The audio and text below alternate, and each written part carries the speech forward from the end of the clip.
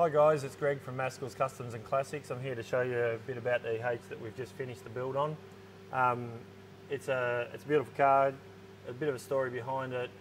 Uh, I got a phone call one day from a young guy, bought the car for his dad and wanted to know if we could do a paint job for him. I said, look, if it's only a paint job, not a problem. Why is that? He said that he'd given it to his dad, his dad took it for a drive, come back and said, what am I going to do with this piece of junk? Let's see if we can work it out, get a paint job for it. So I said, yeah, no worries. Bring it to me as a disassembled car. The next day he shows up with a completed car, still running. So he drove it off the trailer. In the time frame from the first conversation to when they arrived with Heath and Jack, the dad, they decided that they wanted a V8, six-speed manual, some fat tyres. So I kind of re- agreed to doing this, and that's where the car started to evolve. Um, a bit of a story behind the, the name No Say is Heath and I, as we built the car, we would discuss things and ask Jack a few few times.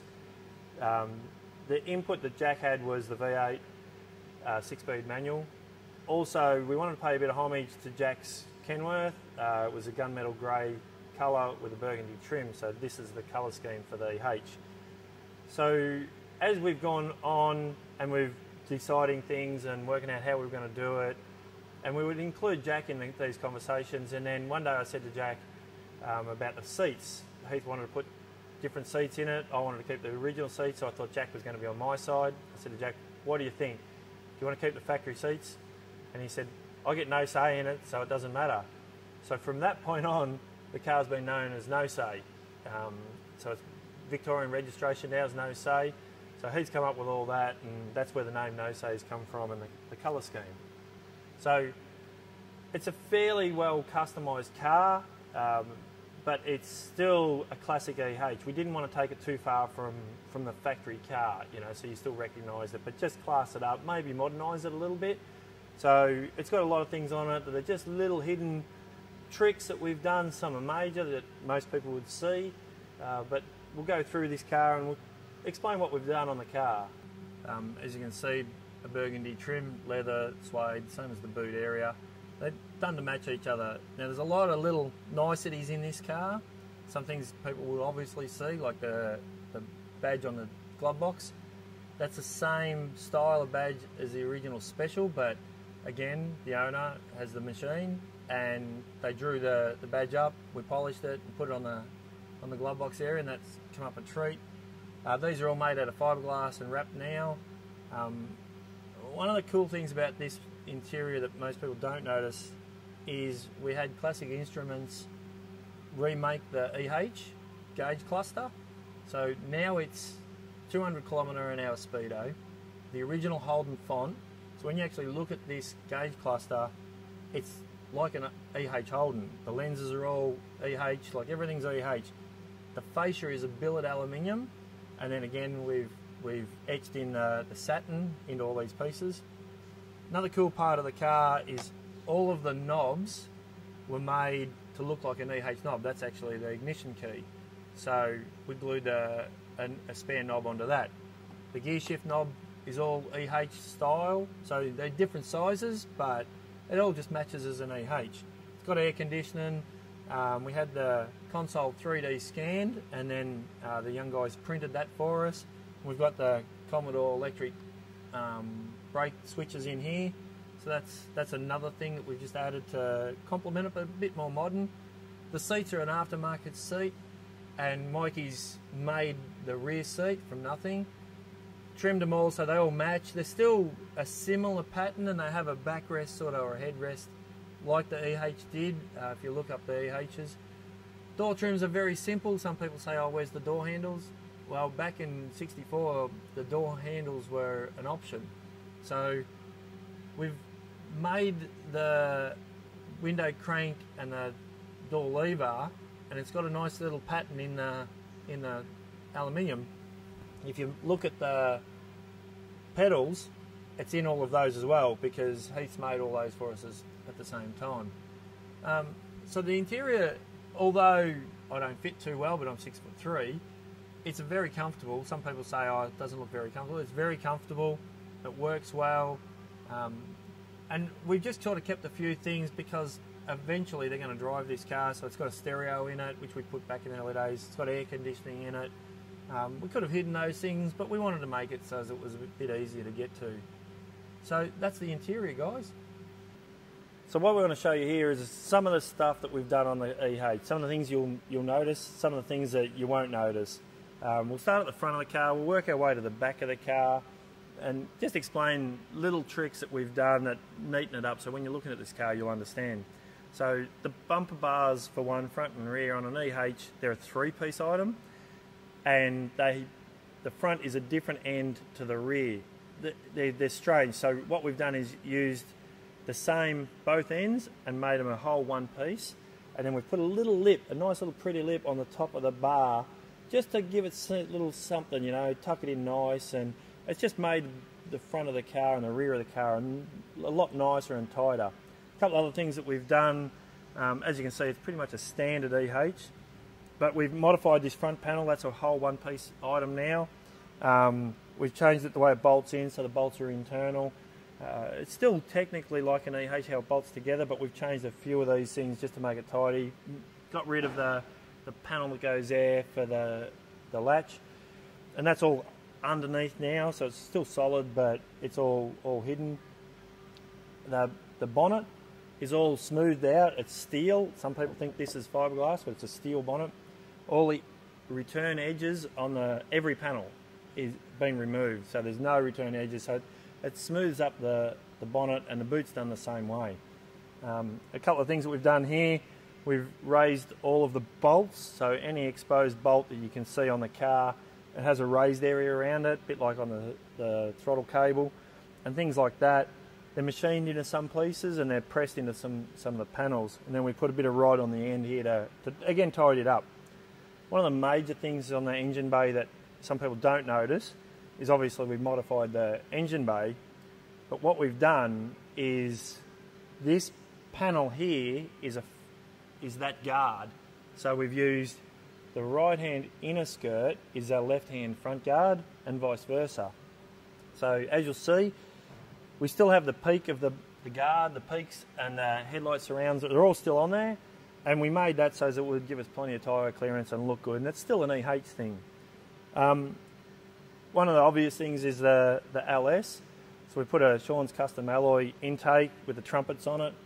And a little things that we've done here, all of the etching is on every polished piece of aluminium on the car. So wherever you see aluminium, you'll see this etching on it. You know, it's on the faces of them, on, sometimes on the top lips, things like that. But it just gives us a bit of texture for the rest of the car. As you can see, we've got a satin finished paint in the engine bay and a gloss on the exterior and the running gear and suspension are all a little bit darker than the exterior colour. So all this tidies it all up. Bonnet hinges, we've custom made these. We're very lucky in one way that the owner of the EH, uh, one of his businesses he owns is a engineering workshop, and they've got a water jet cutter and a CNC uh, mill and lathe. So they've been able to make all these out of stainless steel for us. The hinges, the knobs in the dash, all sorts of little things are all made from these guys there. They're very talented guys, so we, we tapped into that little bit of a talent there. So it allowed us to change a lot of this engine bay.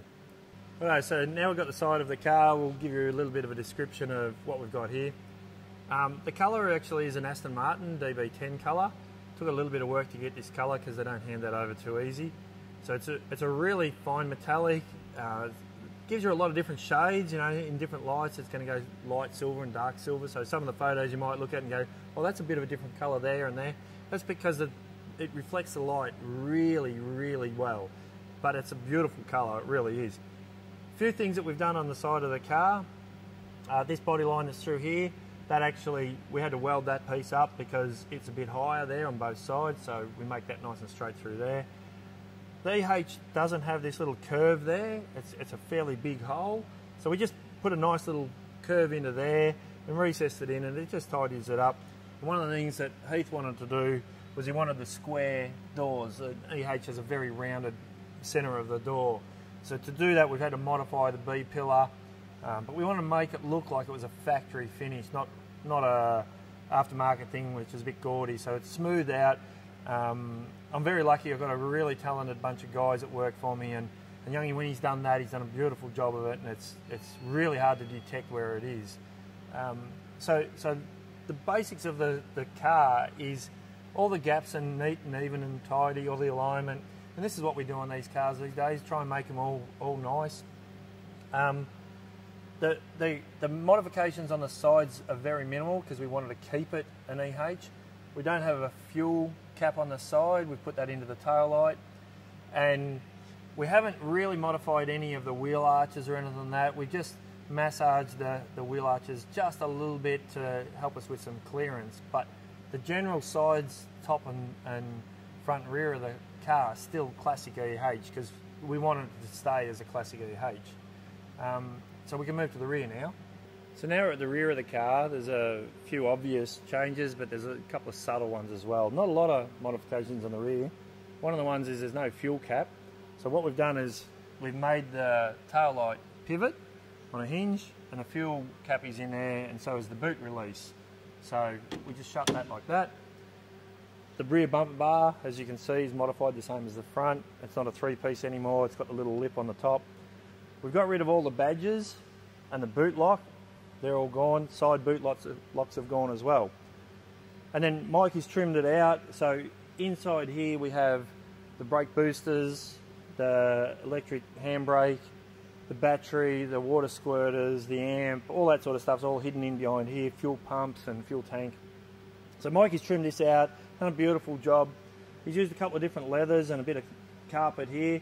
There's a suede leather in the carpet and a bit of aluminium just to sort of match it in with the interior of the car.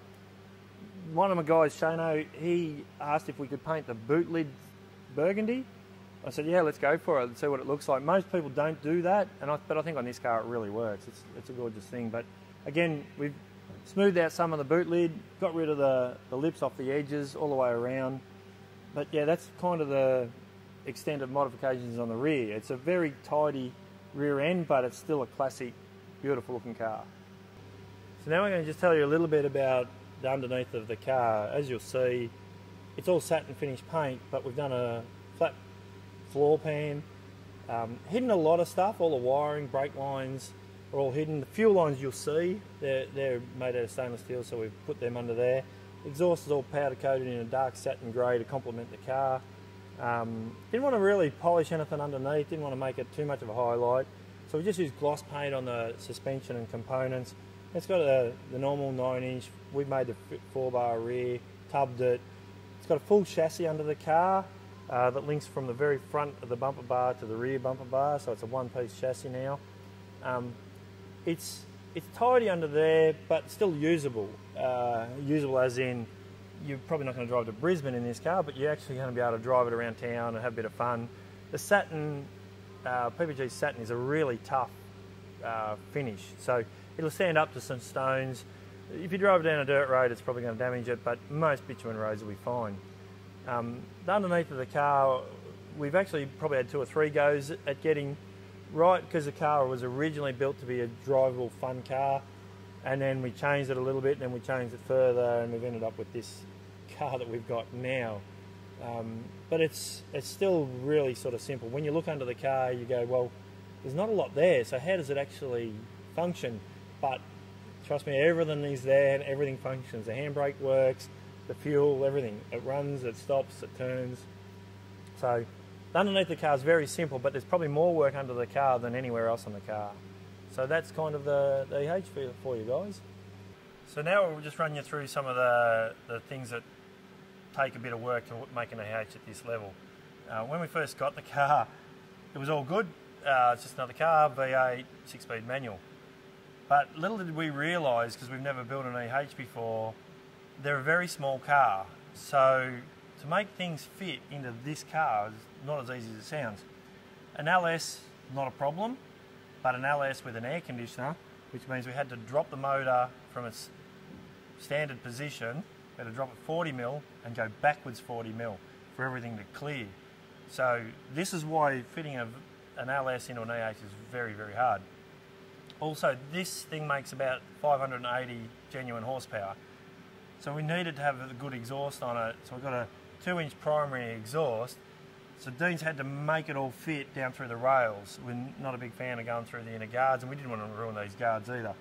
So to make all that fit in there, we've hidden all of the air conditioner lines, which is very difficult because they drop down, they go down under this panel, up, and through the underneath of the guard. And if you ever get a chance to look under the guard, you'll you'll see why it's so pretty under there. But everything's hidden, but it's still accessible. We've got um, everything so we can just take a panel off under the guard and we can get to the, the lines if we need to take one out or do a repair or something like that. Um, as I said, the EH is a very, very small car. So even the alternator, we wanted to drop the alternator down near the chassis rails like on a, on a say, HK Holden. But the rails are actually 150 mil narrower than an early Holden. Um, so that makes it really, really hard to get things out of the way. So we've, we've, we've gone with the Billet Specialties pulley system. It's all at the top, at the front, but it works really well. Um, we were lucky with the Shaun's custom alloy intake that we just need to run a single line uh, into the fuel system. We don't need to run two. So the plumbing on that side was very easy. We run an Autronic ECU, um, which is a really good system for this car. It does everything we need it to do. It actually does more than we need it to do. But the car runs like a dream now. Um, the guys have tuned it on the dyno and it's a really sweet thing. Another problem was the six-speed manual. Now, these late model gearboxes are very tall, so, so the trans tunnel's got to come up. Problem with the trans tunnel coming up is the seats are in the road, so to make it all fit in there is very, very tight. And then to get an exhaust through there, and we didn't want the exhaust to hang too far below the chassis rail. We like to build our cars kind of low, so everything had to fit under the uh, floor, but not hang too far below the chassis. So it's only the, the where the four into one collectors meet that it just hangs a little bit low. It's about a half an inch lower than the chassis rail. Uh, like I said, all the brake lines and fuel uh, wiring and things like that, they all run through the car. We're allowed to legally do that here in Victoria. So again, they proved to be a little bit of an issue when the trimmer wanted to trim it because we've got so much wiring in this car and it all runs to the rear of the car because the battery's in the rear and then some of it has to come forward. The brake lines have to come forward to the front brakes. So we've flattened the floor out, so that's given Mikey nowhere to put his panelling for the, the carpet. So he's had to recess all the bottom of the, the floor. So as it sits on the top of it, it would give us a spot to run all of our, our lines and leads and stuff. Um, another couple of little things that we, we come across, um, parts for the EH, they're not as easy to find as you would think. Um, there's some good repo stuff out there, but you know, side mouldings and front and rear windscreen mouldings, that's really hard. We're lucky we've got some guys that do brilliant chrome and brilliant stainless steel repairs. So we use these guys and, and they've repaired everything to the best they can do. Um, there's, there's some little hidden things like the exterior door lock, so it all has central locking now. Um, there's some hidden wires, so if the central locking or the battery goes flat, you can pull a wire and it'll unlock the door. There's a jumper point underneath the car, so if you want to trickle feed the battery or jump start the car, you've got a jumper point underneath, so you don't have to pop the boot or anything like that to get to it. Um, and again, uh, all this packaging takes time and, and you've got to think it out before you get to it. So there's a lot of little stuff on this car to, to explain. I've probably forgotten more than I remember. Um, so yeah, so this is the H for you guys. Um, hi, it's Greg from Maskell's Customs and Classics. Uh, here to show you the HK Monaro that we did a bit of a resto custom mod sort of job on. Um, this came to us as a, a, bit of a car. It was it was started, but it was um, not good. We've had to do a lot of work, uh, and in the process of fixing the car, typical HK Monaro, they just rusted and dented and they're in bad condition. So as we've gone on this car, we've just tidied a few little things up. It's nowhere near a customised car, but it's a very clean and tidy car. Uh, as you can see with the engine bay, we've just smoothed off the, the inner guards and a little bit on the firewall, hidden the wiper motor under the, the dash there. But most stuff's still on this car. This is this car is to be driven. It's got air conditioning, power steering. It's got all the all the gear, you know. But it's it's just really nice. Like it's clean. We haven't gone overboard on it.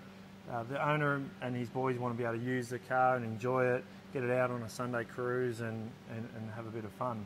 Um, so the basics of the car were was the owner originally wanted to start it with his dad.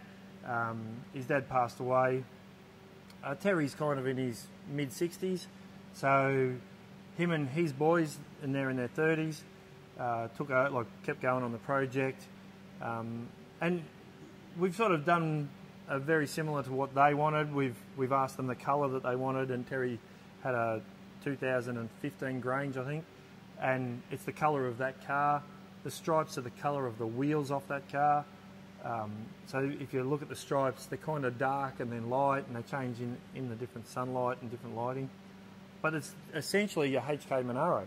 Everything on the car is HK Monaro uh, in aspect of we haven't chopped up things. It's got a very original interior.